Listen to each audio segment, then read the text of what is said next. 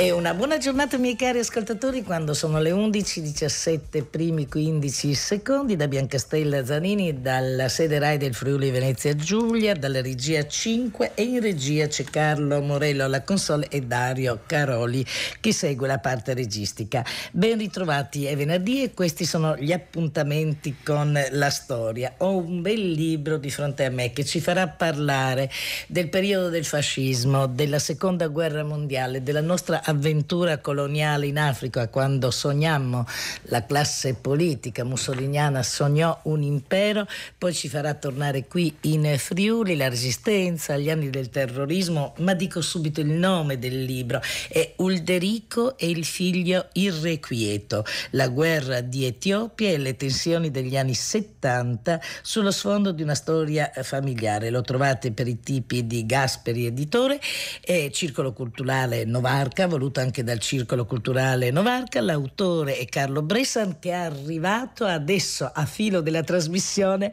da Aiello del Friuli da Udine. Buongiorno Carlo Bressan. Salve, ciao. Ben arrivato, strada sì. difficile oggi. Sì, oggi con blocchi. Sì, blocchi stradali. Sì. Allora lo presento bene, grazie di essere arrivato ugualmente. Carlo Bressan è nato ad Aiello del Friuli nel 1946, diciamo la data perché è importante per collocare il papà e le avventure eh, sue, eh, le vicissitudini anche eh, passate da Carlo Bressan.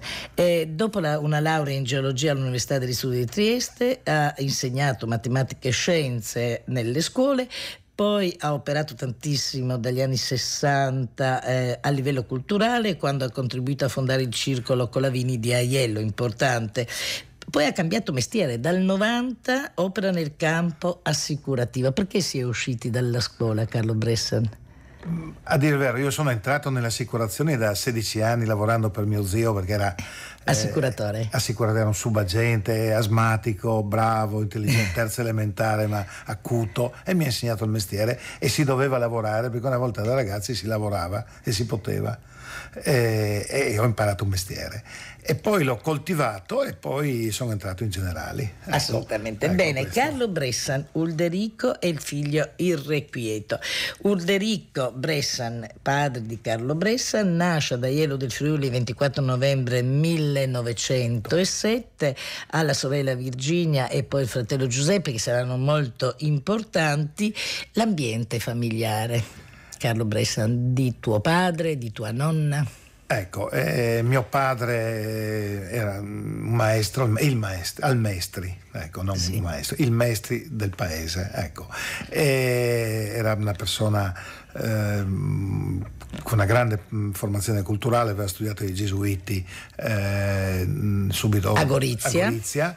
anzi aveva studiato grazie ai gesuiti perché a San Luigi, parroco, se non sbaglio, sì, no? San Luigi eh, Don Caligari si era andato alla sua madre e, e come facevano quei ragazzi più dotati, aveva detto se voleva continuare a studiare, perché già da due anni faceva il fabbro, per cui io ho ancora il portone fatto da mio padre in paese. Quindi continua a studiare? Poi... Continua a studiare e lo vediamo in una foto sotto la Casa del Popolo, Circolo di Coltura ad Aiello nel 21 pochi mesi dopo verrà eh, devastata questa casa da una squadraccia. Periodo fascista. Eh, però eh, otto anni, nove anni dopo lui eh, si arruola volontario e chiede di eh, entrare eh, eh, come ufficiale nell'esercito. E qui ti fermo perché mi stai bruciando le tappe, perché sì. io voglio capire prima di tutto com'era l'ambiente di Aiello, anche l'ambiente culturale, e Aiello tra i due mondi, no? quello italiano e quello austriaco. Ecco, eh, Aiello è un paese, diciamo così, di confine proprio, perché eh, ad Aiello, subito dopo Aiello, a Visco, passava il confine fino al 1915 e noi in pochi anni abbiamo cambiato eh, confine eh, più e più volte. Cioè, nel 15 sono arrivati i cavalleggeri e mio padre e mia nonna, eh, Maria, li ricevono e li ricevono con una certa diffidenza, ma diffidenza anche da parte dei, dei, cavalleggeri che arrivano, che chiedono l'acqua e chiedono a mio padre di bere, di provare l'acqua, perché si aspettano che sia avvelenata. Mio padre si aspetta che eh, gli italiani gli diano le caramelle avvelenate, perché la nonna gli aveva detto che nel insomma che gli aerei italiani, i primi aerei nel 15 buttavano caramelle avvelenate. Questo era il clima. Aiello era un paese austro-ungarico, cioè il 90% della famiglia Bressan era di sentimenti, si dice, eh, austro-ungarici, imperiali. La famiglia di mia madre, Malacrea, invece era di sentimenti italiani e aveva l'imporio. Riusciamo a spiegare ai nostri ascoltatori eh, l'adesione di papà Ulderico Bressan, che sarà poi il maestro del paese il secondo, nel secondo dopoguerra, sì. l'adesione al fascismo di Mussolini. Ecco, la, la situazione mh, l'evoluzione, diciamo così, di un ragazzo eh, giovane particolarmente istruito, perché veramente con i salesiani c'era una selezione durissima. Studi classici. Studi poi. classici, ma anche mnemonici, eh, ma non solo mnemonici, conoscevo a memoria, posso dire, tutta la letteratura italiana, cioè Divina Commedia, Carducci, Foscolo, come niente, cioè gli davi un verso e continuava e non era tanto... Aveva poi cercato di andare ulteriormente all'università, ma non riusciva ma a mantenersi non è per i soldi. E aveva fatto anche le magistrali poi per poter insegnare, no? Dopo aver fatto licenza. il classico, perché aveva fatto l'esame allo Stellini a Udine, il passaggio, aveva fatto il tentativo... Eh, ci aveva fatto l'esame per eh, maestro, per diventare maestro. Ecco, e gli era andato bene per il rotto della cuffia perché incanto era proprio negato. Ecco. allora l'adesione al fascismo e poi sentiremo un po' di Mussolini, l'adesione cioè al fascismo, quello che poteva sentire anche Ulderico sì. nei discorsi. L'adesione al fascismo rispetto al 21, nel 28-29 quando aderisce, ehm, il, il, clima è cambiato nel paese, cioè ormai è un paese pacificato. Aiello subisse in particolare una trasformazione perché è un paese di sentimenti austriaci prevalentemente, perché tutti avevano fatto il militare con l'Austria, e subisse una forte pressione. Si inizia la costruzione della Casa del Fascio, c'è una pressione per portarlo verso sentimenti italiani. E mio padre è amico del federale di Zande Giacomo aderisce ed è l'unico modo per eh, diciamo anche dare un aiuto di fatto alla famiglia, perché poco dopo, nel 29, inizia la crisi, la rivalutazione della lira e la nonna eh, per aggiustare la stalla, che, per pagare il, mutuo della stalla, eh, alla fine dovrà vendere mucca, stalla e casa. Mm. E allora lui... Abbiamo detto nel 1926 Uldelico Bressan fa la visita di leva, poi nel 29 appunto è volontario al corso ufficiali, ufficiali, fa il corso ufficiali ed è soggetto a tutta quella che è anche la propaganda fascista. Allora, sei d'accordo o no? Per entrare nel corso ufficiali o aderiva o non entrava. Questo certamente, dato. Cioè, per cui non è solo una, costri- non è una costrizione, è un'adesione verso eh, il fascismo sociale, lo possiamo chiamare. C'era questa componente. Certamente. Importante. E la conquista italiana dell'Africa, e parliamo concretamente della Libia, risale già al 1911, una sì. prima conquista. Papà diventa giovane uomo quando c'è il sogno dell'impero. Sì. Allora andiamo a sentire cosa disse Mussolini a Bolzano, c'era nell'aria già le sanzioni sì. per le vicende africane da parte del fascismo. Cosa disse Mussolini a Bolzano il 31 agosto 1935? Erano iniziati iniziate, erano finite le grandi manovre, lui loda eh, tutti coloro che hanno partecipato a queste grandi manovre e coglie l'occasione per dire l'Italia in questo momento deve mostrare i muscoli perché deve avere un proprio impero, comincia a sognare l'impero. Ascoltiamo Mussolini. Camerati ufficiali, sottufficiali, caporali, soldati e commissionere, Sua Maestà il Re vi dà l'incarico di esprimervi suo alto compiacimento per le prove di resistenza fisica, per la disciplina, per il vostro comportamento. All'elogio sovrano, cui dovete essere particolarmente fieri, desidero aggiungere il mio, quale ministro delle forze armate. Intendo di associare in questo elogio anche le divisioni che hanno manovrato nel Friuli, nella Lombardia, nel Sannio e nelle rimanenti province d'Italia. Con questa grande parata si concludono le manovre dell'anno 13. In altri tempi, dopo la conclusione delle manovre, sarebbe venuto il congedo Ciò quest'anno non avverrà. Entro il mese di settembre altri 200.000 uomini saranno chiamati nei vostri ranghi per portare gli effettivi dell'esercito al livello previsto di un milione di uomini. Il mondo deve sapere ancora una volta che fino a quando si parlerà in maniera assurda e provocatoria di sanzioni, noi non rinunceremo a un solo soldato, a un solo marinaio, a un solo avviere, ma porteremo al livello massimo possibile della potenza tutte le forze armate della nazione. Camerati ufficiali, sottufficiali, caporali, soldati e camicie le prove che avete fornito in questi giorni, ma soprattutto l'altissimo morale che vi anima, danno la certezza che se domani la patria vi chiamerà ad assolvere più aspri doveri, voi lo farete con entusiasmo, con coraggio, con risoluta decisione fino in fondo. Camerati ufficiali, sottufficiali, caporali, soldati e camicie saluto il re! Rientriamo in studio, questa era una parte del discorso di Benito Mussolini a Bolzano il 31 agosto 1935. Tra poco la guerra vera e propria, la guerra d'Etiopia che scatta il 3 ottobre 1935. Eh, Carlo Bressan, tuo padre Ulderico nel 1935, dove lo troviamo? Che cosa fa?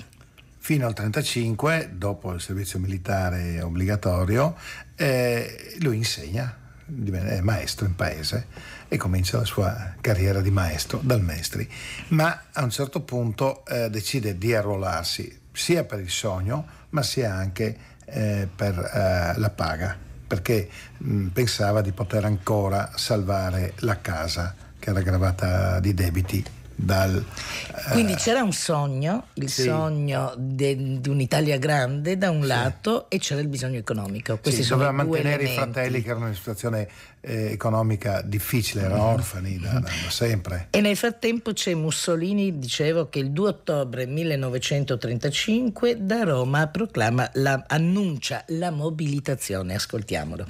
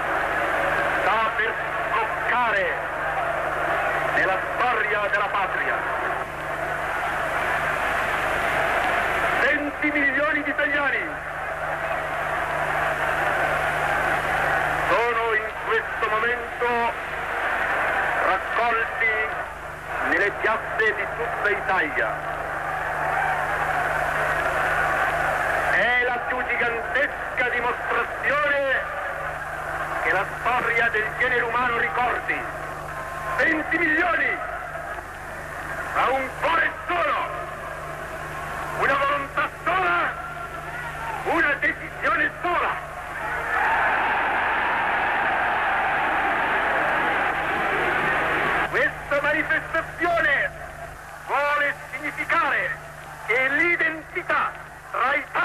fascismo è perfetta, assoluta e inalterabile.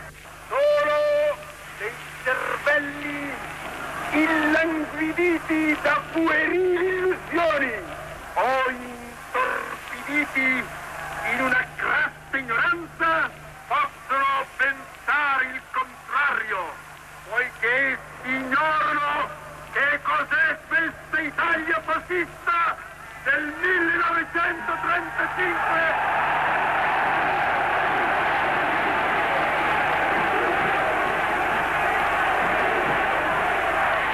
Durante 13 anni abbiamo fatto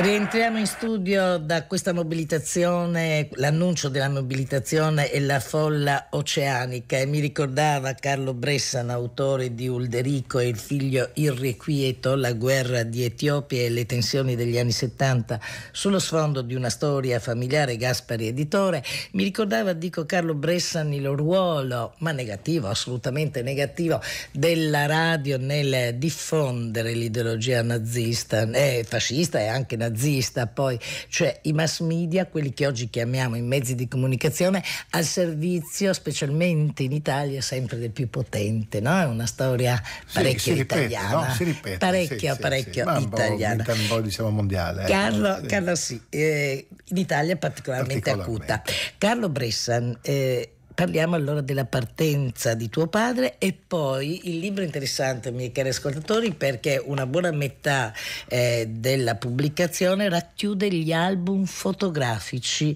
di Ulderico Bressan, le fotografie scattate in Africa, dalla quale, dalle quali è partito il figlio Carlo proprio per scrivere l'opera. Allora, eh, nel 1935 parte sia per costruire l'impero, ma anche per la paga, perché era, per gli ufficiali era particolarmente ricca, erano mm, le mille, i mille euro, i mille, mille lire al mese, cioè non era poco.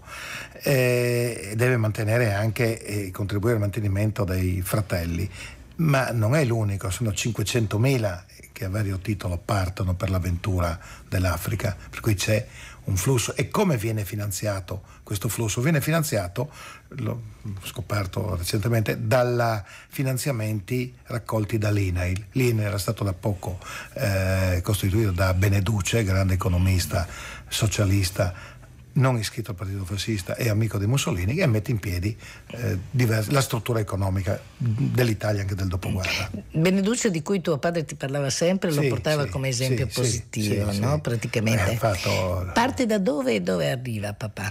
In questa Eh, prima tornata, vedremo parte, che andrà di nuovo mh, poi.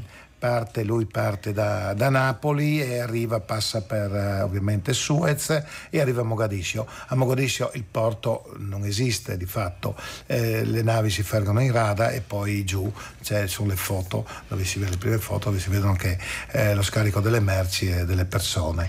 A cosa eh, viene addetto? Cosa fa papà? Africa? ufficiale radiotelegrafista.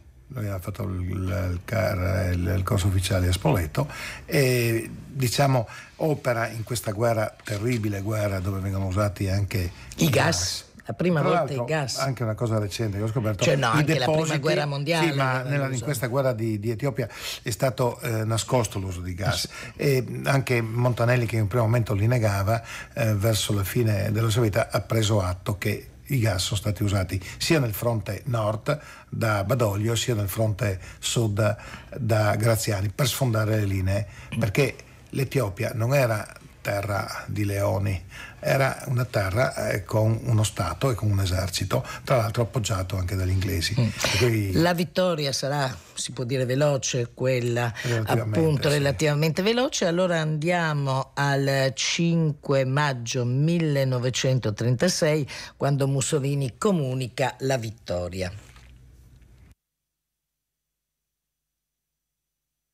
Un grande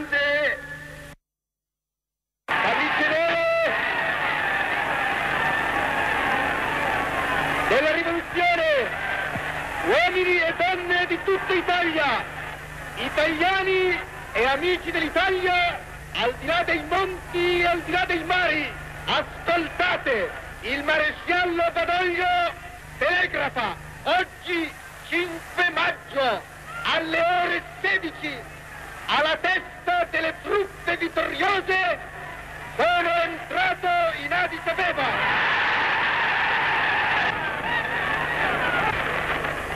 Annuncio al popolo italiano e al mondo che la guerra è finita. Annuncio al popolo italiano e al mondo che la pace è ristabilita.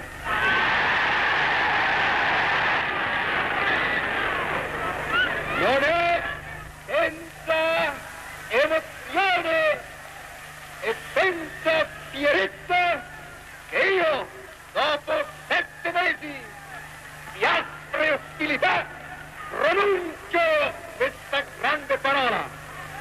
Ma è strettamente necessario che io aggiunga che si tratta della nostra pace, della pace romana. che si esprime in questa semplice, irrevocabile, definitiva proposizione. L'Etiopia è italiana!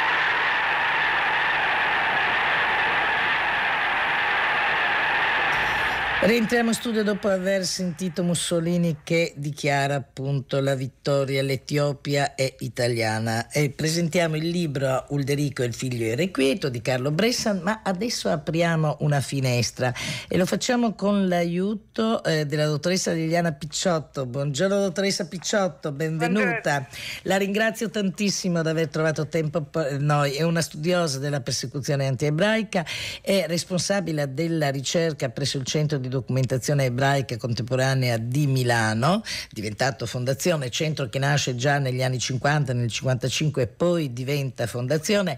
La conoscete tutti per il suo famosissimo libro, ha avuto più edizioni, il libro della memoria, gli ebrei deportati dall'Italia 43-45, sono 8.900 se non sbaglio, è vero l'ultimo dato, eh, dottoressa Picciotto, forse è andata avanti, i nomi raccolti. Sì, purtroppo questo dato non è mai definitivo perché andando avanti col tempo nuovi archivi si aprono, si trovano nuove notizie, quindi paradossalmente eh, noi avevamo pensato che una volta finita la ricerca non avremmo più trovato niente, ma invece succede che... Ancora aperto, ancora aperto. Ancora aperto. Poi eh, ha moltissimi carichi, ha ricevuto moltissimi anche riconoscimenti, ma voglio ricordare ancora l'Alba ci colse come un tradimento, gli ebrei nel campo di Fossoli 43-44, si è occupata anche delle partenze da Trieste, ma voglio dire che Liliana Picciotto è nata nel 1947 al Cairo d'Egitto da antica famiglia sefardita, quindi gli ebrei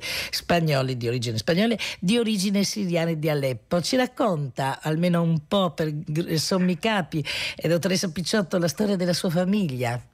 Sì, allora è una famiglia che proviene dal Portogallo, questo nome Picciotto è in realtà l'italianizzazione di un nome, di un nome che si chiama, che si dice Peixoto e non si capisce bene se voler dire pesciolino oppure se fosse un fiume del Portogallo.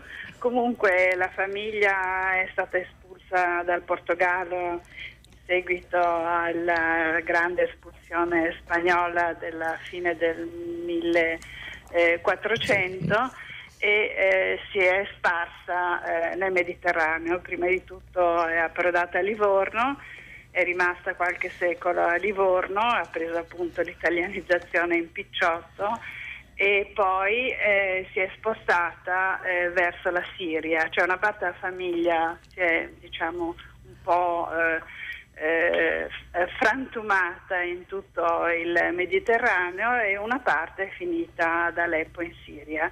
Mm.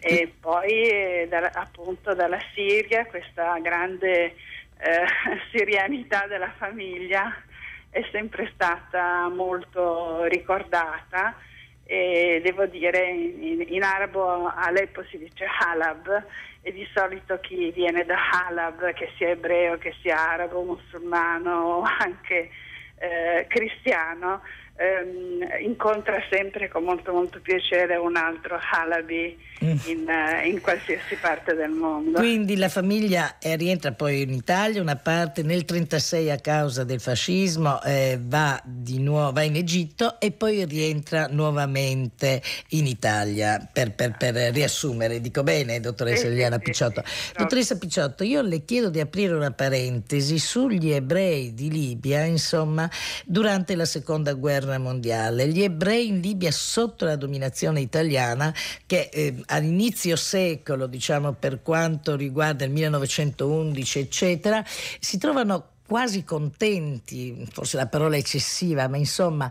durante una prima occupazione italiana si trovano bene, poi subentra però il fascismo e che succede? E succede che intanto parliamo di numeri, la, quella comunità ebraica eh, locale conta circa 30.000 persone, che non sono poche, e, diciamo un numero che assomiglia molto al numero degli ebrei nazionali in Italia, cioè i numeri sono piccoli, anche se le, le, queste comunità ebraiche contano moltissimo. Ma in Libia eh, mh, la situazione è questa, che ci sono alcune famiglie diciamo mercantili di grandi commercianti che guardano l'Italia, guardano la Francia, la Spagna per i loro commerci, che mandano i loro figli eh, a studiare in Italia. E poi c'è una massa di gente poverissima ehm, che abita un certo quartiere della città e che parla una lingua giudeo-araba, cioè un misto tra arabo e ebraico, è occupata nel piccolo artigianato, per esempio nel, molto erano molto specializzati nella battitura dell'argento e ci sono ancora in giro delle, dei manufatti molto molto tipici, si riconosce subito che sono manufatti degli ebrei del, della Libia. E poi si vestono in una maniera particolare, gli uomini hanno questa veste lunga all'araba, le donne hanno vestiti coloratissimi con questi foulard di mille colori, hanno dei monili, cioè diciamo che è proprio una popolazione ebraica arabizzante. Ecco, loro tengono moltissimo la loro tradizione ebraica e eh, ci sono continuamente incidenti tra arabi ed ebrei, soprattutto in questo quartiere chiamato La Hara. E ci sono sassaiole tra ragazzi, ci sono continue risse, eh, attacchi continui, insomma non è una vita molto, eh, molto tranquilla. Poi nel 1932 sono, cioè, c'è qualche incidente perché eh, allora il governatore era Badoglio e eh, voleva obbligare gli ebrei a eh, mandare i loro figli a scuola di sabato e ci fu una specie di eh, rivolta popolare molto eh, poi sedata con, eh, con la violenza. Poi, nel 1933 le cose migliorarono un pochino perché fu nominato governatore Balbo, Balbo che veniva da Ferrara e che aveva molti eh, amici ebrei eh, cui teneva moltissimo, soprattutto la famiglia Ravenna e quindi diciamo cercò di eh, un pochino, eh, malgrado che la dominazione italiana avesse un pugno molto pesante, cercò comunque di alleviare un pochino eh, anche l'atmosfera se non che proprio nel, io dico delle cose così a volo d'uccello. Certo, assolutamente, dobbiamo arrivare alla partecipazione italiana, no? alla guerra proprio sì, eh, a quel sì. periodo. Allora no, dico solo questo, che nel 1936 un barbo, magari si avesse un volto amico nei confronti degli ebrei, eh, obbligò eh, tutti quanti ad aprire negozi di sabato e fu proprio una rivolta eh, popolare di quartiere fu terribile e lui poi ordinò la fustigazione in piazza dei, dei capi della comunità e questo se la legarono al dito per sempre.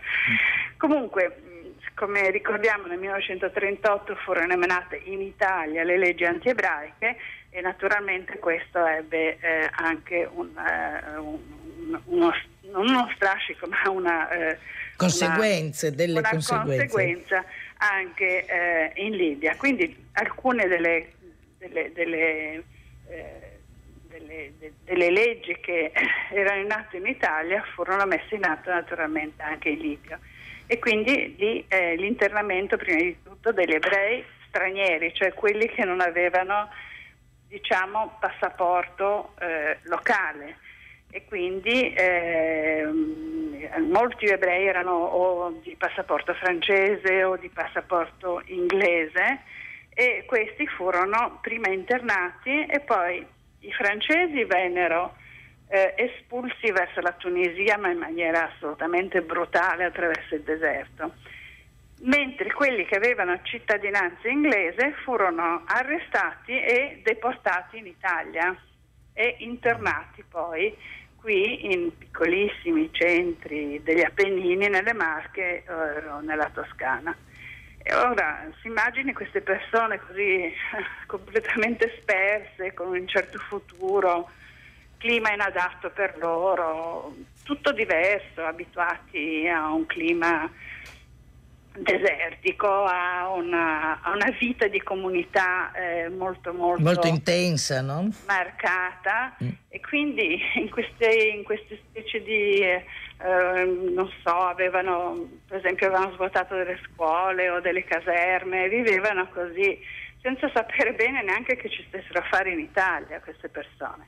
Rimasero per ben due anni qui, fino a quando eh, l'Italia fu occupata dalla Germania nazista l'8 settembre del 1943 e eh, allora questi ebrei che stavano in giro internati dalle, dalle, dalle, autorità fasciste italiane davano naturalmente nell'occhio e quindi se ne accorsero i tedeschi e eh, decisero di prenderli e di deportarli tutti, mm. deportarli nel lager di Bergen-Belsen. Dove morirono per lo più, eh, mm, dottoressa no, no, no, no, non morirono perché il campo di Bergen-Belsen, a differenza di quanto si possa pensare, dato che le terribili fotografie mm, post-belliche che abbiamo visto, i film con migliaia di cadaveri, eccetera, riguardano effettivamente solo l'ultimo mese di eh, vita di quel campo.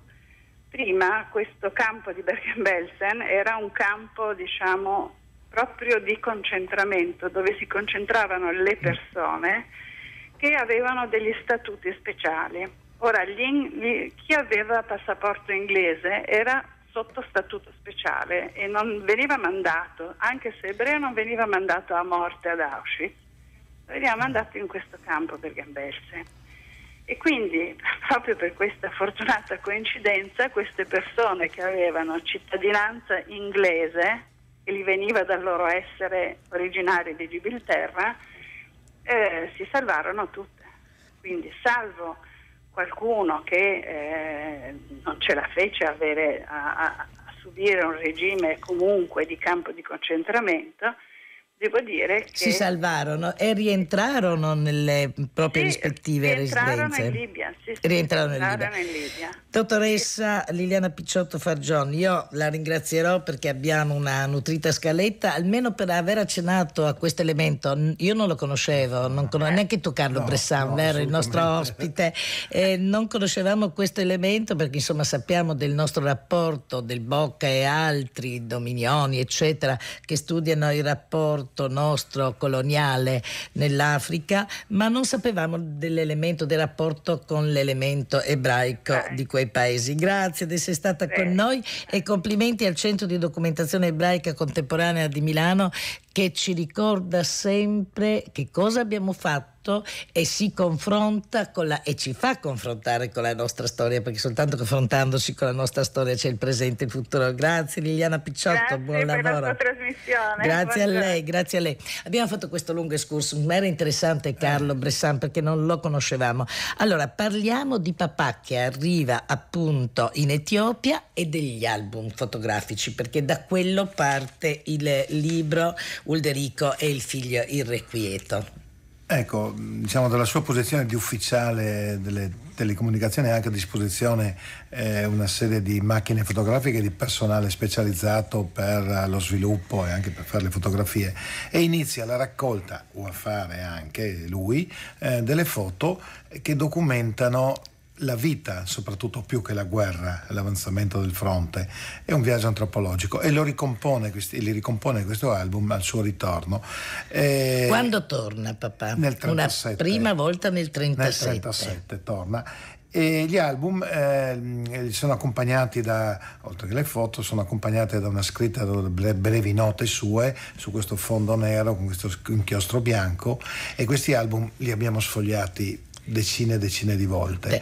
Torna quindi nel 37, poi però eh, nel 41 viene mandato, richiamato a Fiume, viene mandato alla censura militare di Fiume, se non sbaglio, sì. l'entrata in guerra dell'Italia, va alla censura militare di Fiume, ma vuole fare la guerra alla fine. Sì, dice non sto mm, negli uffici. Non sto nell'ufficio e chiede di andare in Libia. E va in Libia anzi si sposa prima, eh, con mia madre, mio la sala pension. La mamma era di origine? Era di Aiello, ma la crea uh-huh. la famiglia dei sentimenti italiani nel 18. ecco.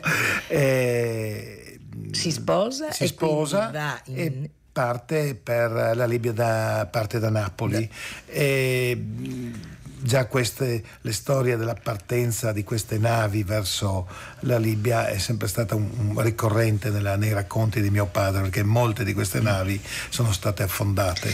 Che cosa fa papà in Libia in questa occasione? È diventato capitano del genio, sa leggere, scrivere e far di conto in un esercito non sempre molto istruito e gli danno la responsabilità di costruire, di dirigere la costruzione della strada attorno a Tobruk verso El Alamein.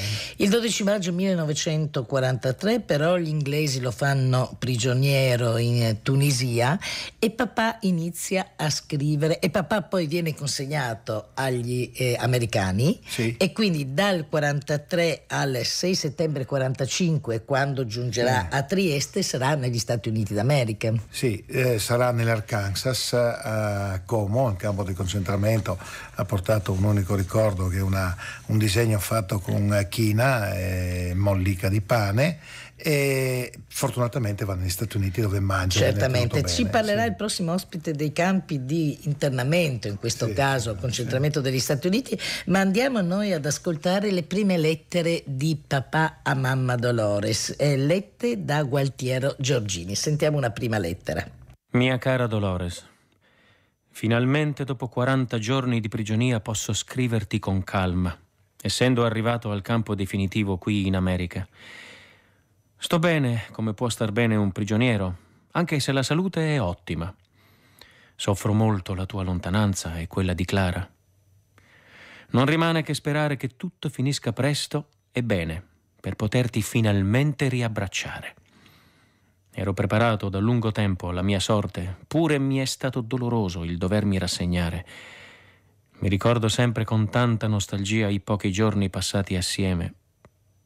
Ritorneranno Abbi fiducia e voglimi bene come te ne voglio tanto io. Scrivimi a lungo di te e di Clara. Saluti ai miei, ad Amerigo, a tutti. Scriverò tutte le volte che mi sarà possibile. Tu fai altrettanto.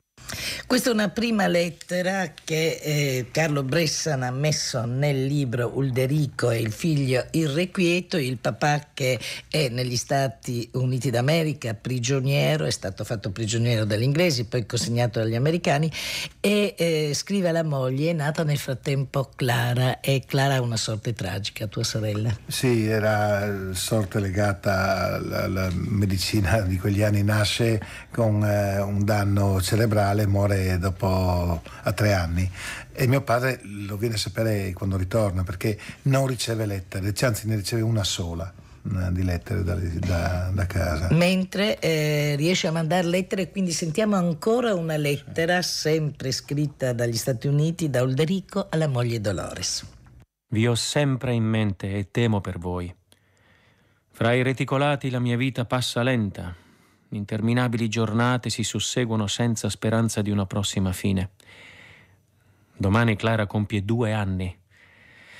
È grande il mio dolore di non averla potuta ancora conoscere e di non poterla baciare e accarezzare almeno una volta. Fallo tu per me e dille quanto le voglio bene, così come lo voglio alla sua mamma. Saluta tutti per me e ti raccomando i miei fratelli. Cari affettuosi saluti. Ti bacio con Clara. Così Ulderico negli anni di prigionia dal 43 al 45 scrive alla sua famiglia. Ma noi siamo collegati con Roma dove abbiamo Flavio Giovanni Conti. Buongiorno Conti. Buongiorno a voi e agli ascoltatori. Grazie di essere con noi. E da oltre 30 anni si occupa di prigionia nel campo eh, degli alleati. È autore, tra l'altro, tra le tante cose, dei prigionieri italiani negli Stati Uniti, un libro edito per i tipi del mulino. Ho chiesto a Conti di partecipare, anche se brevemente, alla nostra trasmissione, ma del libro noi parleremo ancora perché è interessante entrare in questo segmento, anche perché Flavio Conti mi dice che è proprio un work in progress, un lavoro che procede perché i nomi saltano fuori sempre più. Allora, eh, Conti, eh, come vengono catturati, come vengono trasportati e dove vengono messi i prigionieri eh, degli inglesi e degli americani durante la seconda guerra mondiale? Ma, eh, la maggior parte dei prigionieri italiani fu fatta eh, nella primavera del 43 e in particolare le ultime settimane prima eh, della chiusura della campagna, cioè a maggio. Eh, complessivamente furono fatti 250.000 prigionieri dell'asse in Nord Africa e di questi 100.000 erano italiani. Poi successivamente a Pantelleria e in Sicilia ne furono fatti degli altri, per cui diciamo complessivamente furono 200.000 i prigionieri catturati in quelle aree. Eh, c'era un accordo tra gli alleati eh, all'inizio della campagna in Nord Africa che i prigionieri fatti in quell'area sarebbero andati agli Stati Uniti perché gli inglesi no, non erano più in grado di gestirli, per cui tutti i prigionieri tedeschi furono inviati negli Stati Uniti e degli italiani 51.000 furono inviati, mm, quelli considerati sicuri, non si sa bene con quale criterio fu, fu fatta questa, questo, diciamo, questa discriminazione. Eh, ci furono grossi problemi all'inizio di gestione, non sapevano cosa fare con questi 250.000 prigionieri in Nord Africa, gli americani lo, lo confessa anche Eisenhower a un certo punto, eh, per cui mano a mano tra difficoltà di carattere logistico, sanitario, li cominciano a inviare negli Stati Uniti usando queste poi diventate famose navi Liberty, che erano navi però non attrezzate a trasportare questi prigionieri, per cui il viaggio fu molto penoso, in 20 giorni furono eh, mantenuti nelle stive, uscivano pochissimo a prendere, a, a prendere aria, fu quello un, un, aspetto molto carente da parte degli Stati Uniti. Certamente, allora eh, rimanga con noi Flavio Conti perché mi racconterà, ci racconterà racconterà. Intanto le presento Carlo Bressa anche qui con noi che la Saluto. saluta. Saluto, grazie. La ringrazio, poi diremo qualcosa di Bressan, di quello che ho trovato nei miei documenti. Anche nei suoi documenti, ma allora io vi voglio fare ancora sentire un documento che per me è ormai storico. Voi conoscete lo scienziato Paolo Budinic, il grande fisico recentemente scomparso, è stato nostro ospite e Paolo Budinic, giovanissimo laureato, va eh, da solo, viene chiamato alla leva e lavora nei sommergibili, però la sua famiglia scopre che lui è in missione nei sommergibili e eh, lo fa richiamare. Comunque diventa quasi aviatore e viene messo eh, su una nave e catturata poi questa nave portato negli Stati Uniti d'America. Era una nave dei privilegiati, di coloro che erano stati portati via dalle famiglie da posizioni di guerra pericolose. Sentiamo questa sua breve testimonianza. Era la nave dei raccomandati, evidentemente, era il raccomandato del ministro, chiaro. E allora, appunto, sempre con questa idea, la guerra bisogna farla, facciamo qualcosa di interessante, sono andato a fare l'osservatorio aereo. Ho chiesto di andare a fare la scuola di osservazione aerea a Orbetello e così sono diventato osservatore aereo. Sono andato in Grecia e lì appunto poi sono andato a Nisida e lì durante una missione siamo stati abbattuti e sono stato portato prigioniero in, prima in Inghilterra e poi negli Stati Uniti. Anzitutto sono stato un breve tempo in Inghilterra perché naturalmente eh, agli inglesi c'era la fame, anche in Inghilterra, e quindi piuttosto che tenere lì dei prigionieri che consumavano viveri, mandavano i prigionieri a mangiare in, in, in America. Quindi quando le Liberty tornavano vuote erano pieni di prigionieri che andavano in America. In America la situazione era anche anomala, in quanto stavamo in, in dei campi di prigionia prima nel Missouri, a Monticello, e lì c'era un bellissimo campo alberato, si stava benissimo. Avevamo dei cuochi italiani naturalmente, prigionieri anche loro, i quali ci facevano i giorni le tagliatelle, c'erano bistecche, quindi si stava benissimo dal punto di vista del trattamento insomma, de, del vitto, della loggia, era tutto tranquillo, però non c'era niente da fare. Allora molti, c'è questo fatto interessante che molti, a forza di non fare niente per mesi e mesi, a un certo momento erano diciamo suscettibili di malattie mentali, diventavano matti semplicemente quei pochi, io avevo interessi, studiavo filosofia in quel tempo appunto, e quindi avevo interessi, potevamo avere dei libri, Toscanini ci aveva mandato tutti i suoi dischi, quindi ogni sera c'era un concerto con i dischi di Toscanini, quindi io stavo abbastanza bene. Però molti invece, che la mattina e la sera non facevano niente o giocavano al bridge. C'era gente che per 12 ore al giorno giocava a bridge, si può immaginare. Terribile. E lei si trovava in quel campo certamente in parte anche isolato, ma ci fu, eh, era un fisico, un giovanissimo laureato in fisica, ci fu la tentazione di dire ecco forse questo è il continente che primeggerà, si sapeva già in qualche modo a livello di tecnica e più tardi di tecnologia, sì, io rimango qui. Ci fu mai questa tentazione? No, per dire la verità, perché sarebbe sempre rimanere un prigioniero prigioniero, capisci? Ci sono alcuni che l'hanno fatto. Nei campi di prigionieri c'era la possibilità anche in alcuni campi di avere anche contatti con l'esterno, con gli oriundi italiani, ci sono stati anche dei finanziamenti, dei matrimoni e quelli sono rimasti. Ma in realtà io quando sono arrivato in Inghilterra ho scritto a Fermi, perché io, Fermi è stato normale, ma Fermi non mi ha mai risposto dopo ho capito perché, perché Fermi era in quel tempo, stava facendo la bomba atomica, quindi qualsiasi corrispondenza con italiani prigionieri era bloccata automaticamente dai servizi segreti perché poteva, poteva anche essere che, che, che, diciamo, capisci, insomma, non, assolutamente non, non avevano non, e, quindi, e, quindi, e quindi probabilmente Fermi non ha mai ricevuto quella lettera. E poi io, siccome dopo sette anni io ho fatto insomma il servizio militare, la guerra. la guerra. e la prigionia. Sono sette anni dalla mia laurea. Io non pensavo neanche di tornare alla fisica, pensavo di fare o il filosofo. Quando sono tornato a Trieste nel 1945, alla fine ci hanno portato a casa, finita la guerra. Io non pensavo di tornare agli studi, capisce? Perché sette anni, in quel sono periodo tanti. dai 22 diciamo, ai 29, sono gli anni in cui uno veramente produce. E questo era Paolo Budinic, il professore che ha reso famosa Trieste più che a Trieste nel mondo, in quanto cittadella della scienza.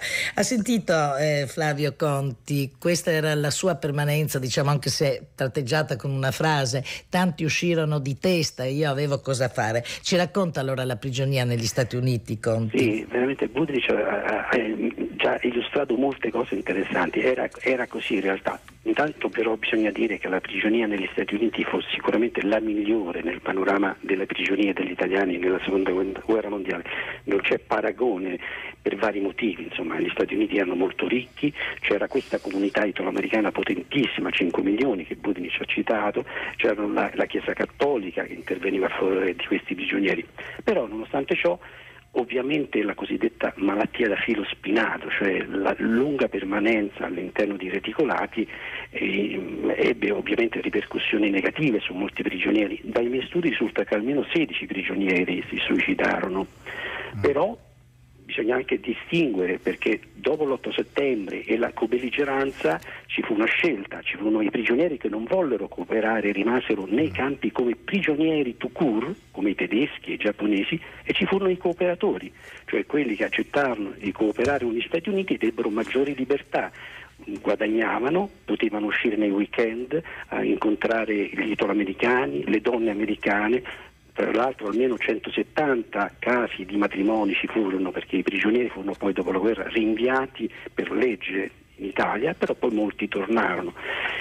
Comunque bisogna dire che i campi erano dei campi attrezzati molto bene, erano dei campi spesso nuovissimi, la, l'alimentazione era ottima, era la stessa dei prigionieri, dei militari americani, come prevedeva la Convenzione di Ginevra certo. del 29. Flavio, eh, Flavio, Conti, la interrompo un attimo per chiedere eh, a Carlo Bressan il racconto di papà prigion- del campo di prigionia americano. Beh, coincide con quello che, che sta, raccontando. sta raccontando, cioè lui racconta, eh, il, faceva il confronto anche con eh, mio zio, cioè il fratello di mia moglie, eh, di sua moglie che era prigioniero degli inglesi in Kenya, durissima è stata la sua esperienza, mentre mio padre aveva da mangiare bene, leggeva, eh, seguiva la stampa anche locale, eh, campo, insegnava agli altri prigionieri faceva delle lezioni, per cui nonostante la prigionia, ecco, c'era una certa vita. vita. Papà era prima nel campo di smistamento di Monticello nell'Arkansas e poi nel campo di Common nel Mississippi. Sì. C'è, c'è in qualche modo una regola secondo cui vengono scelti questi campi, Flavio Conti, oppure no? Mi permetta di correggere allora. Sbaglio, dica Eh, tutto. no, nel senso che sicuramente risulta dai documenti era Como prima e Monticello, come dicono gli americani, dopo. Eh, perché i prigionieri furono prima inviati nei campi secondo un criterio di sicurezza, cioè i primi campi erano all'interno degli Stati Uniti, non vicino alle coste. Per esempio c'era a Terbioli, eh, Leonard Wood, Weingarten, Florence, Ogden, Crossville e Como nel Mississippi e Hereford nel Texas che diventò famoso perché vi furono inviati tutti i- i- gli ufficiali non cooperatori. Per cui Como a un certo punto chiuse per gli italiani e furono trasferiti a Monticello dove arrivarono tutti i- gli ufficiali di Como incluso Bressan ovviamente che era da quello che mi risulta un capitano Sì. e, e che eh, tra l'altro in un documento americano ho accanto al suo nome una dicitura che dice sì scheda, cioè vedi la scheda perché probabilmente c'era qualche problema, eh, per quando c'erano dei problemi mettevano queste notazioni. Poi dopo ci furono altri campi perché i- con la cooperazione furono inviati addirittura in 140 campi gli italiani, tra cui appunto Monticello, ma anche George Meade nel Maryland, Fort Knight in California e le Hawaii. 5.000 prigionieri furono inviati nelle Hawaii addirittura. Quindi- Flavio Giovanni Conti, dovevo- dovrei descriverle, perché siamo radio non televisione, la faccia di Carlo Bressan quando ha detto che lei ha un documento, ha sentito che ha un documento con la nota, vedi nota, su suo padre. A questo punto io la lascerò perché noi andiamo verso la seconda metà della trasmissione. Mi riprometto però di ricevere il libro e di fare una trasmissione sul suo libro, perché ricordo solo nelle mie storie del Novecento di aver avuto più persone che mi hanno raccontato la loro permanenza negli Stati Uniti. È un segmento importante, la prigionia nel campo alleato, quello di cui si occupa Flavio Giovanni Conti.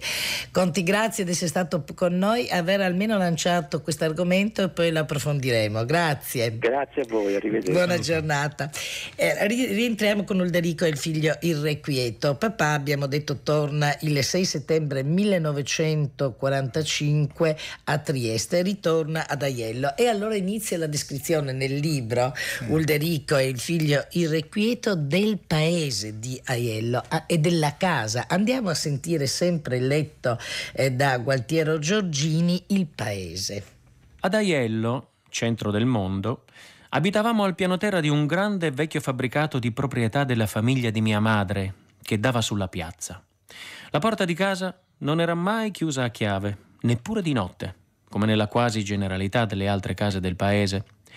Quando si usciva, la chiave veniva lasciata sulla finestra, dietro gli scuri socchiusi. Così, se uno della famiglia ritornava prima, poteva entrare, mentre i ladri no.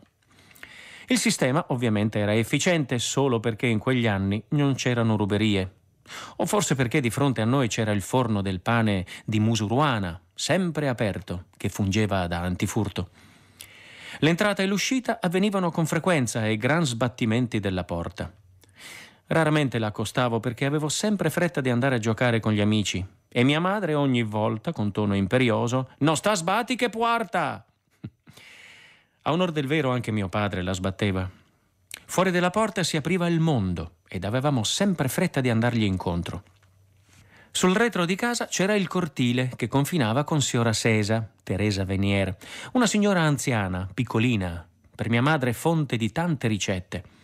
La migliore era quella del mitico strucolo cappuccino, che mia madre sfornava nelle grandi occasioni, mentre la torta gialla e nera era il prodotto finale di due torte, una al cioccolato, tipo Sacher, e una di pan di Spagna con crema gialla.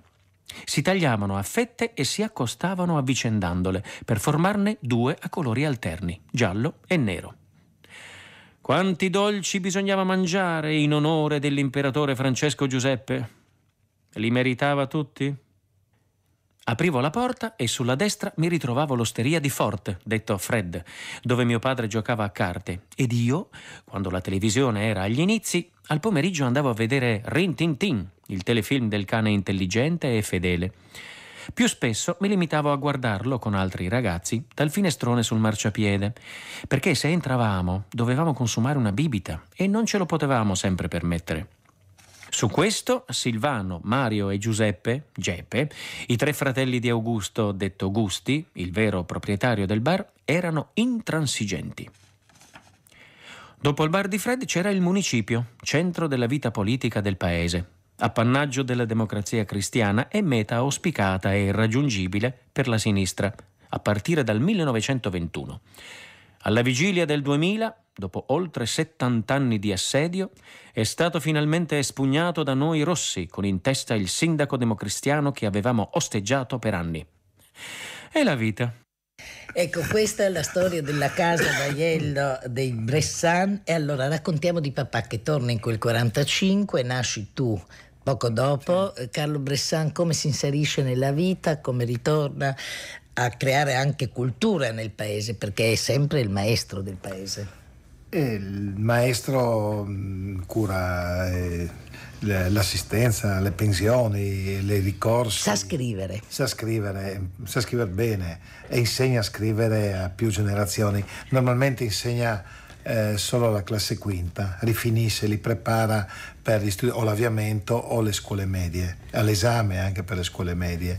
Per cui e mio padre è stato un, una persona che ha svolto un ruolo importante in paese, un punto di riferimento per molte generazioni. Un, paese in, sì, un paese in, cui si confrontano le parti politiche in quegli anni. E si confrontano in modo molto vivace, mh, totalmente diverso da adesso, fino al 69, fino a Piazza Fontana, ma si confrontano mh, in diverse sedi, ma una delle principali, l'agora del paese, è il chiosco delle Corriere costruito da Silvano Perini al geometra. Non bruciarmi la lettura perché sentiremo appunto sì, parlare sì. di quel chiostro, ma nel frattempo facciamo crescere anche eh, Carlo Bressan che scappa da un famoso eh, dentista del paese. Ascoltiamo.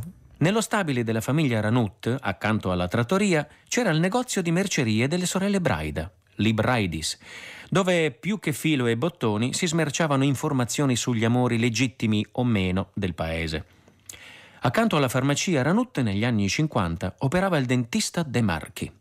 Lo ricordo come un omone con delle grandi mani non proprio delicate, che mi sovrastava e con un ferro ad uncino scavava con accanimento nel mio povero dente.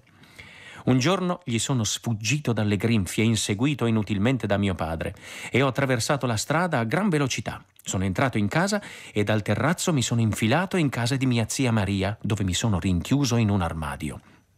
Non sono riusciti a trovarmi, tranne l'amico Pinuccio, che però non ha fatto la spia. La casa era stata data in affitto alla famiglia Tortelli, provenienti dalla Puglia. Avevano avviato una latteria e producevano squisite mozzarelle. Questo per ricordare che Pinuccio mangiava mozzarelle in carrozza preparate da sua zia, che filavano e facevano venire l'acquolina in bocca a noi furlans. Eccoci qua dopo l'avventura di Carlo Bressan eh, con eh, il dentista De Marchi. Carlo Bressan, papà ha aderito al fascismo, abbiamo detto per ideali e abbiamo detto anche per miseria, povertà, insomma, la famiglia. Come avviene la trasformazione politica di papà? Eh, dove va a finire papà come pensiero politico? La trasformazione, la riflessione viene, inizia già eh, nella campagna di Libia. Scrive a mia madre già delle, dà delle notizie dice Ning in davanti come i jambers, andiamo avanti come i gamberi, camminando indietro. E non solo, cioè dice, fa delle osservazioni. Quando ritorna, eh, ritorna nel suo alveo eh, precedente, cioè si riavvicina al Partito Socialista corrente lombardiana, ecco, tanto per, era la corrente di sinistra e per cui lo ritroviamo in questo ambito. Ecco, questo è il, I discorsi ruolo. politici di Papa Conte ci furono, ci sono stati? Sono sempre stati, anche attraverso le letture dei giornali della stampa. Cosa si leggeva? Lui leggeva il Corriere della Sera, però a casa nostra entrava... Tu leggevi l'unità? No, nei primi anni 60 eh, non leggevo l'unità se non alcune volte eh, e me la dava Gelino Berton che era il segretario del Partito Comunista ad Aiello che stava di fronte a noi e aveva la raccolta di tutte le unità. Eh, tutte le... Ecco questo, ma legge, si leggeva anche il Candido. Eh, eh, si leggeva ehm, Epoca, che era un giornale alcune volte anche abbastanza reazionario, si leggeva di tutto, però la, eh, il, non era un condizionamento ecco, dalla stampa, c'era, c'era, soprattutto si leggeva libri, ad esempio uno dei primi libri che mi ha dato è Il lungo viaggio attraverso il fascismo di Zangrandi, che è una riflessione di un intellettuale che ritorna nell'alveo mm. del socialismo. Ma dove vive Ulderico Bressane? Dove fa vivere il figlio Carlo? E andiamo allora con il racconto, con la scrittura di Carlo, interpretata sempre da Giorgini, ad Aiello del Friuli, dove appunto si confrontano tutte le ideologie. Sentiamo. Attraversata via Genova Cavalleria si incontrava la drogheria ferramenta di Degenhardt, dove uno poteva trovare di tutto, se non subito, certamente l'indomani. I due fratelli titolari, Fredo e Enrico, erano maestri nel soddisfare la clientela senza mai tralasciare una battuta politica o di attualità. Erano due persone colte e impegnate politicamente. Le pareti del grande salotto della loro casa erano foderate di libri. Fredo, socialista, era stato partigiano con le formazioni della Garibaldi dall'autunno 1944, mentre Enrico, fino al 1944, era stato fattore del Conte Pace di Tapogliano. Fu denunciato per motivi politici e personali, non dal Conte Pace, che pure era fascista, ma dal continuo strassoldo. Torturato a Palmanova, spedito nelle carceri di via Spalato a Udine e successivamente internato in Germania.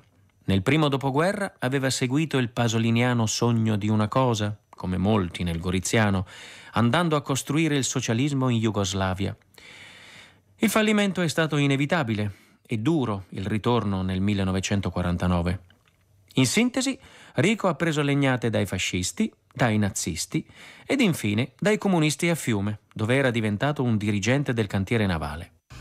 Ecco qui proprio il territorio, no? ricco appestato dai fascisti, nazisti e anche dai comunisti. Il Novecento nel nostro territorio, Carlo Bressani. In poche parole. In pochissime parole. Poi cresci tu, vorrei far sentire ancora delle letture sì. perché la tua storia del 68-69 è un'altra storia.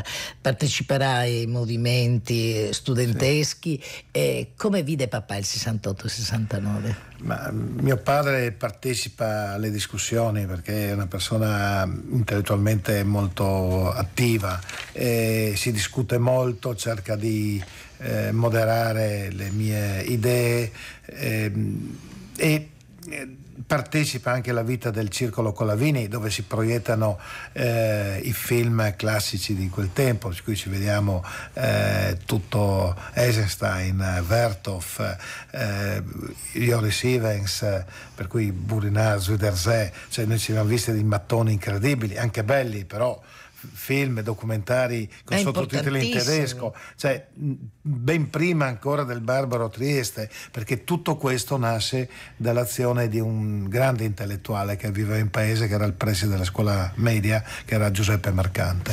Di cui hai fatto tu proprio l'elogio funebre, l'elogio si può dire, no? È, sì. è, stato un grande uomo. Sì. Cante. Import- sì. Perché c'hai le lacrime quasi? perché è così. Commuove ancora oggi, è stato così importante questo preside. Allora, mentre noi cerchiamo qui eh, di bloccare la commozione di Carlo Bressane, questo significa, miei cari ascoltatori, essere insegnante, essere preside di una scuola, lasciare traccia, di modo che anche il mio ospite ancora oggi, quando pensa al preside, al suo collega, poi più tardi, ha le lacrime agli occhi. Allora noi andiamo al del, chiosco delle Corriere e il gioco delle carte con la scrittura di Bressan e la voce di Giorgini. Negli anni 50 e 60, durante le lunghe e soffocanti estati della bassa friulana, il punto di ritrovo serale era il chiosco delle Corriere, l'agorà del paese proprio davanti a casa mia. Spesso le persone si fermavano per prendere il fresco, a chiacchierare fino ad ora tarda. Come si conviene in qualsiasi tribù, non tutti avevano possibilità e voglia di esprimersi. Per lo più il dibattito avveniva tra pochi anziani, con sporadici interventi dei più giovani. Il principe delle serate estive era Abel Bressan, figlio di Jafet, barbiere e parrucchiere, grande conoscitore e collezionista di oggetti d'antiquariato. Abel era famoso per la sua grande passione per le cose belle. Talvolta si faceva pagare le permanenti dalle clienti con oggetti di pregiata porcellana d'epoca, che, proprio perché vecchi, per loro, desiderose di modernità, non avevano nessun pregio. La sua specialità erano le storie di paese, i babez che solamente un barbiere conosce, e le barzellette raccontate in friulano e magistralmente mimate. Si pendeva dalle sue labbra e dalla lingua tagliente che ci faceva ridere a crepapelle. Era insuperabile. Quando il tema toccava la politica, entravano in campo altri personaggi. Mio padre interveniva e polemizzava, specie con i socialdemocratici, rappresentati dal geometra Silvano Perini e da Renato Vrec, tra i pochi che gli tenevano testa. Per i comunisti interveniva Arrigo Musuruana, proprietario del panificio, un vero e proprio covo di comunisti. Il compagno Arrigo, con il lancio dello Sputnik sovietico, ha raggiunto la sua ora di gloria, superata solamente dal missile che ha colpito la Luna nel mare della tranquillità. Seguivano discussioni assurde e interminabili. Si poteva vedere o meno il cratere del missile sovietico nel punto in cui aveva colpito la Luna?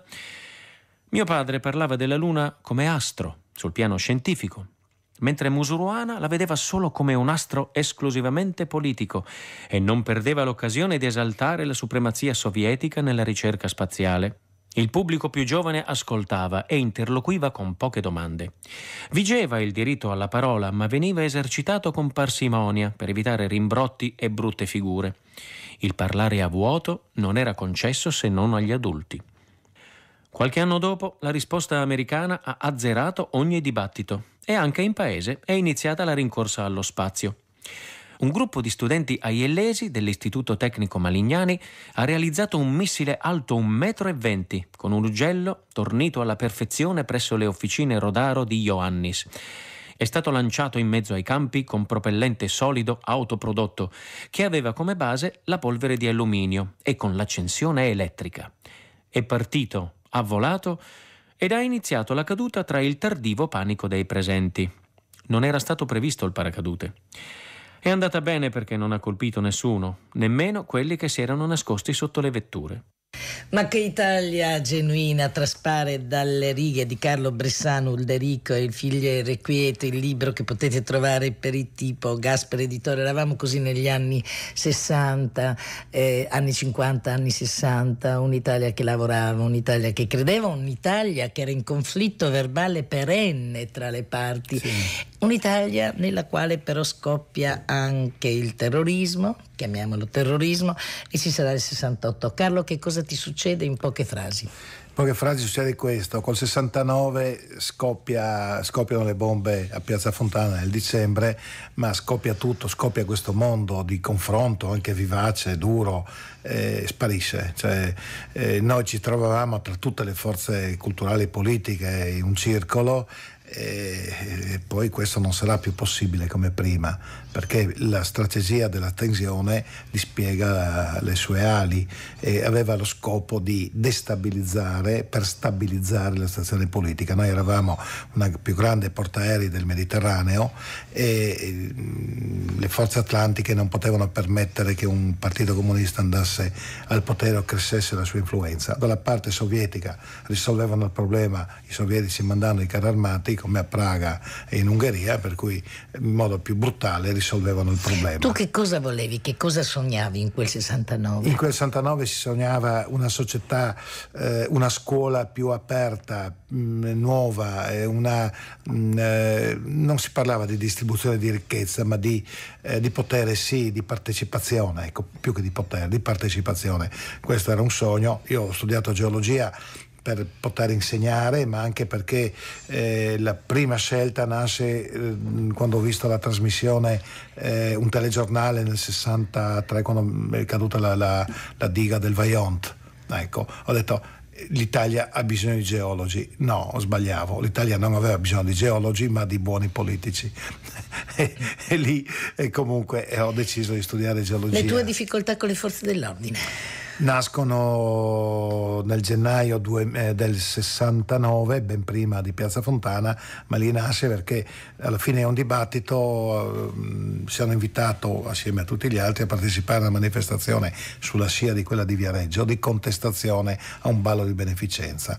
Ci vado, la cosa è organizzata dal PSIUP, la manifestazione è da un'associazione cattolica, eh, ci vado in, e arrivo tardi perché la macchina si rompe, la 500 spande, arrivo proprio per volontà da solo e incontro altri due membri del circolo, che sono i fratelli Bergamasco. Uno era segretario dei giovani DC, tanto per dire che è della democrazia cristiana, e poi è morto pochi anni dopo, dopo aver fatto il presidente dell'ospedale di Palmanova, e il suo fratello. Incontro eh, Renzo Marinis, che poi è diventato presidente della Lega, Vanni De Lucia, Teatro Ingenuo, eccetera e dico ci guardiamo, diciamo atto di presenza che qua ci met- e poi tutti a casa qua ci mettono dentro, mentre alcuni Mm, giocano un po' a fare gli indiani. Eh, arriva una macchina, grande frenata, eh, vola un po' di ghiaia e parte così la carica e prendono me, buttano da parte Bergamasco, proprio mi caricano, mi danno un pugno in pancia, mi caricano in camionetta e da quel momento mm, partono tutte le mie disavventure, c'è le perquisizioni, due perquisizioni per Piazza Fontana e una per la strage di Peteano. Quando ti liberi di tutto questo?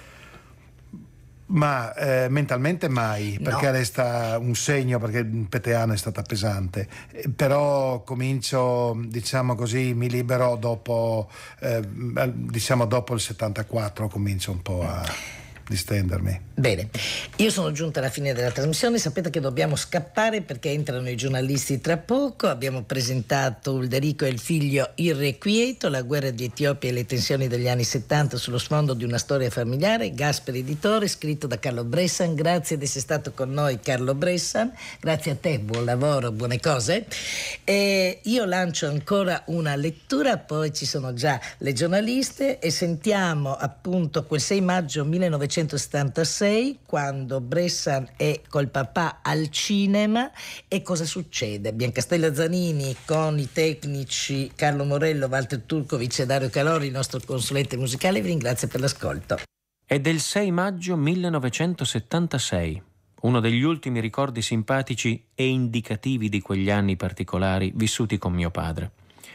Quella sera eravamo andati al Cinema Italia per una classica serata di cineforum con dibattito avevamo organizzato la proiezione di un classico della cinematografia, Il fascino discreto della borghesia di Louis Buñuel. Eravamo seduti uno accanto all'altro e stavamo seguendo le vicende di una comitiva di borghesi affamati di tutto, che non erano però in grado di soddisfare i loro desideri. Non riuscivano a terminare la cena, non riuscivano a fare l'amore perché qualcosa interrompeva la loro bramosia di consumare. Ad un tratto, verso le 22, anche la proiezione della pellicola si interruppe, preceduta da una vibrazione e da un rumore sordo, lungo e profondo. Tutti si precipitarono all'aperto, mentre mio padre ed io restammo seduti e ci interrogammo sulle cause. Si trattava di un attentato? Quando uscimmo per ultimi, gli amici ci presero in giro, informandoci che c'era stato il terremoto. Per noi il condizionamento dovuto alla storia torbida e violenta di quegli anni era stato più forte del terremoto che quella notte aveva raso al suolo una parte del Friuli.